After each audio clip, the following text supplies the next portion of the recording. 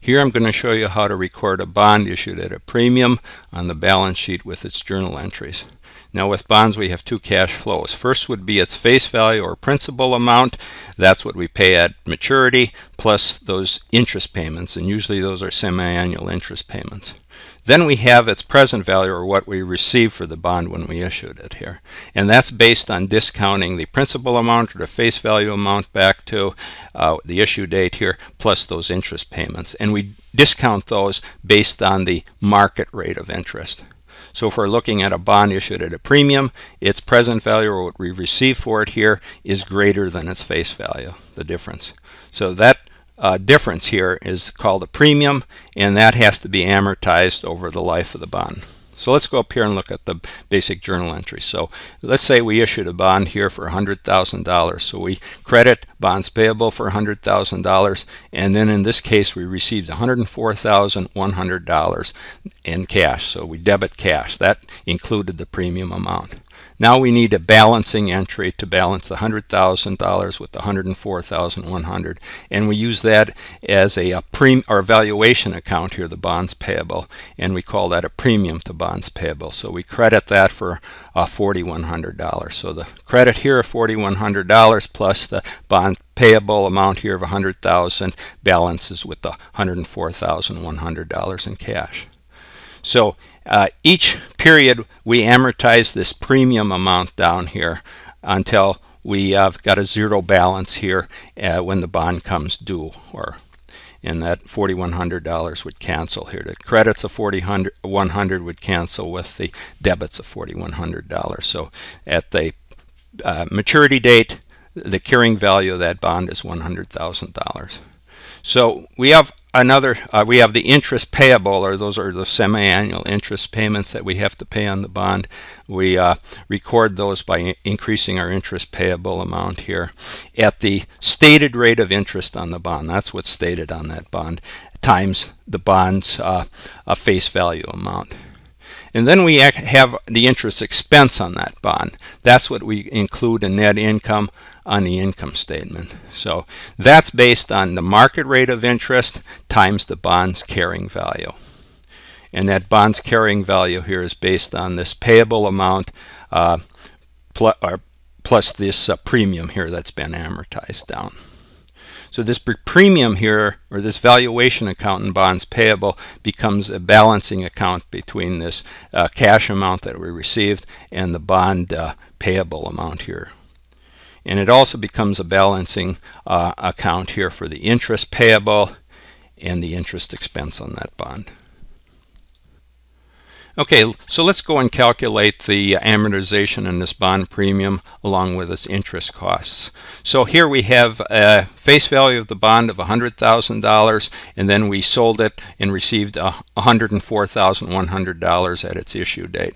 Then we set up this uh, balance and bond premium, which is a valuation account to the bonds payable account, and that is based on the difference here between uh, its face value and what we rece received that at it when we issued it. In this case, the difference here is $4,100.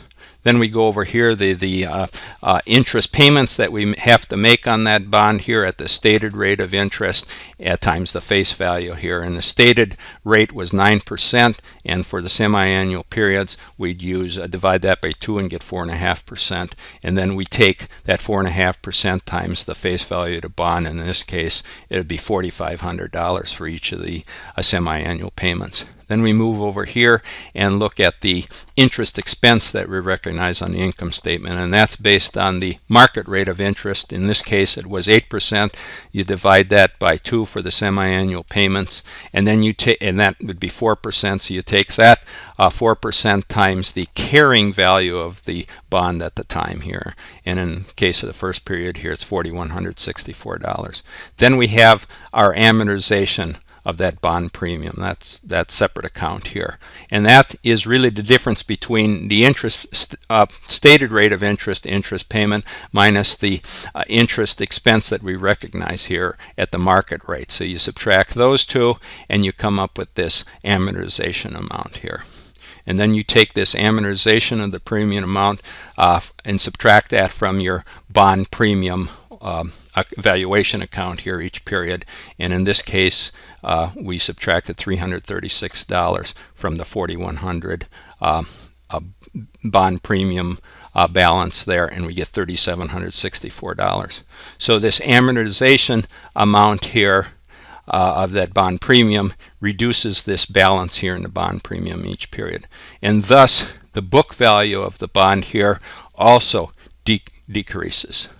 So uh, as this bond premium is being amortized here, we reduce this book value of the bond down to its face value when it's payable here. So the bonds payable account would be $100,000 and this book value of the bond would be $100,000 in the last period. So here let's go and look at how we record our interest payable. So that would be the uh, steady interest payments here at the stated rate of interest and then this interest expense is what we recognize here at the market rate of interest.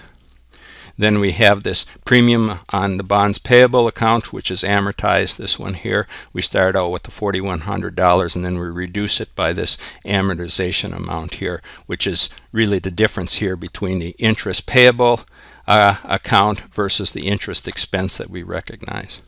And then when the bond becomes um, payable here, well, we first uh, had a payable amount here of $100,000, and then when it's payable, we reduce that by a hundred, or when it matures, we reduce that by $100,000. And then looking at our cash account here, we uh, received $104,100 for it, so we debit or increased cash by that amount. And then we reduce cash or credited cash for those interest payments each month that we made of $4,500. And then we'd also reduce cash by uh, uh, the maturity value of the bond when we uh, pay for that bond or paid a, a face value of that bond to the bondholders. So that would be a summary here of how our, we make our calculations and journal entries for this amortization of a bond issued at a premium.